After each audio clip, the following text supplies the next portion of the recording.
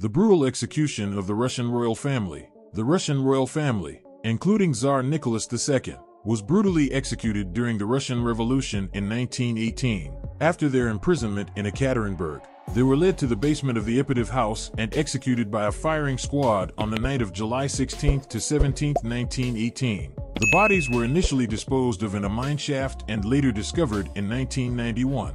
DNA testing confirmed their identities, and in 2000, the Russian Orthodox Church canonized the Romanovs as martyrs.